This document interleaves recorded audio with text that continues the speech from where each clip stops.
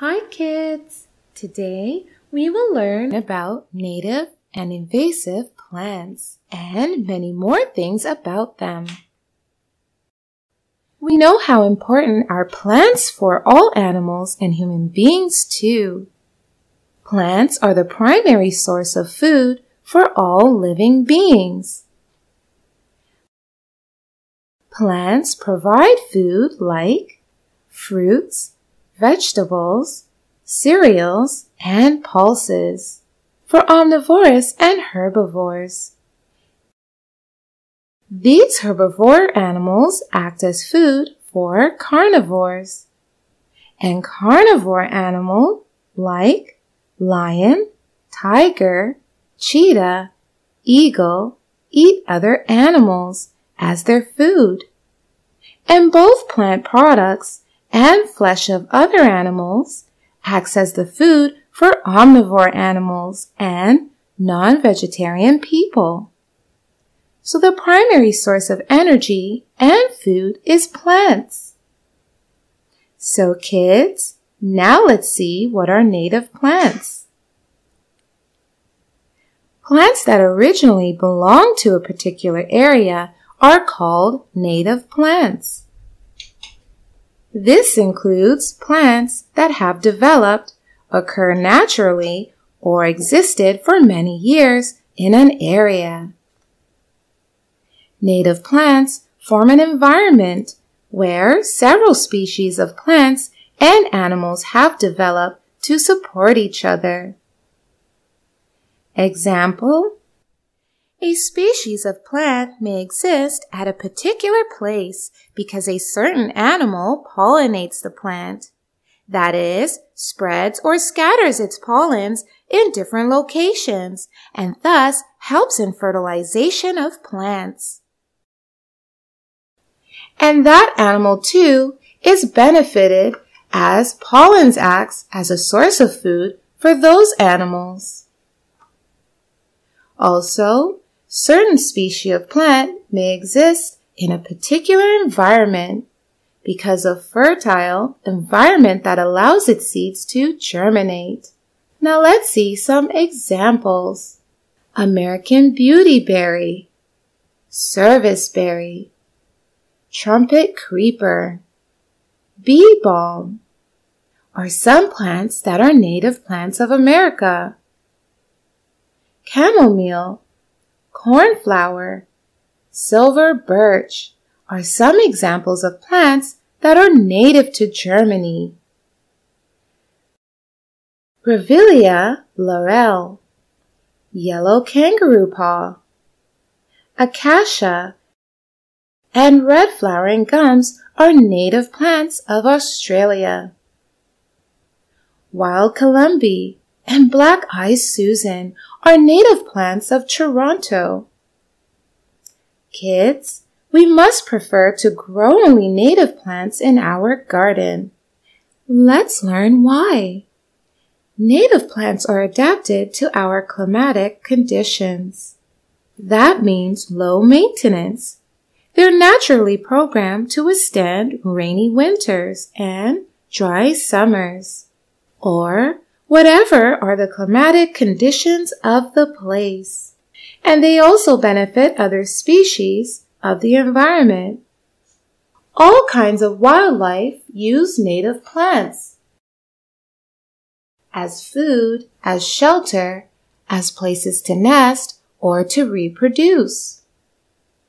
Native plants are so much adapted to the environment, and they prevent erosion, improve water quality, cycle nutrients, and much more.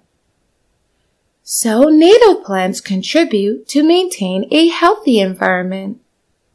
Non-native plants are those that do not originally belong to that area.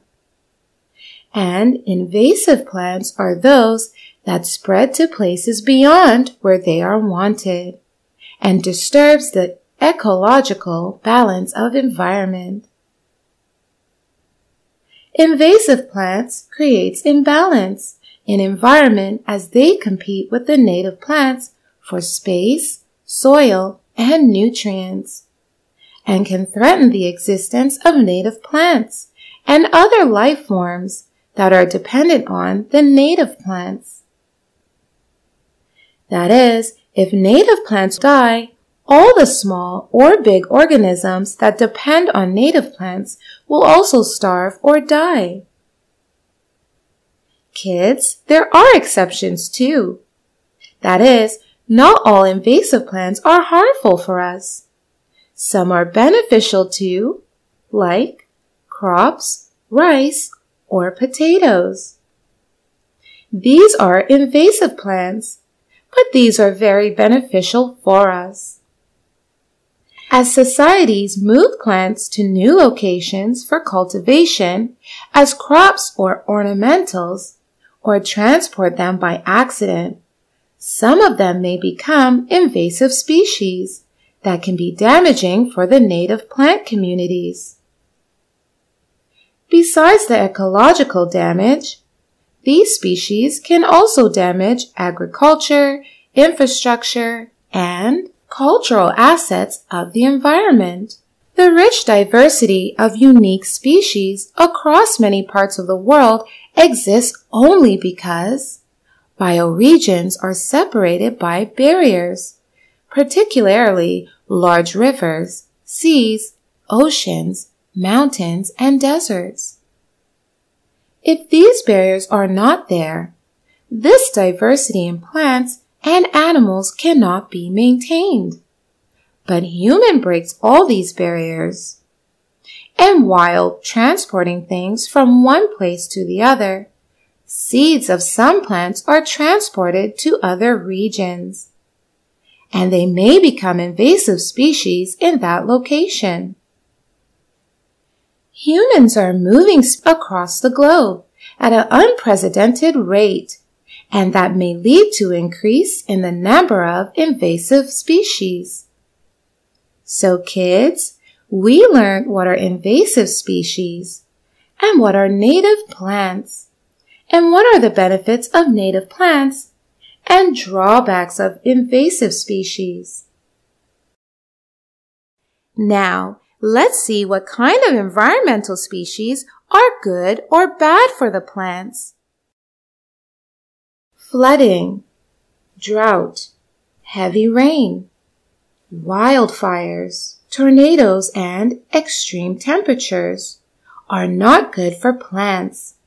They may uproot and destroy many plants. Now let's see some human activities that are not good for plant life on Earth.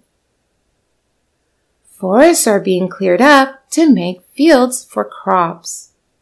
Construction leads to loss of marsh habitat. Factories lead to air pollution and causes acid rain to fall on trees and plants, which kill them. Even gardening leads to plantation of invasive plants, as we may plant trees other than the plants native to our area. So kids, we learned how our activities are disturbing the ecological balance of the earth. So we should prevent air pollution as much as possible.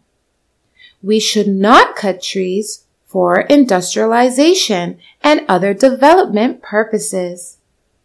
We should not clear out forests for cultivation. We should promote the growth of native plants in our area rather than planting the species of plants that are not native. So kids, today we learned a lot about plants. What are native plants? importance of native plants, what are invasive plants, and what are the drawbacks of invasive plants, and what activities are good for plants, and what are bad for plants. Now go ahead and take a quiz to learn more. Bye-bye.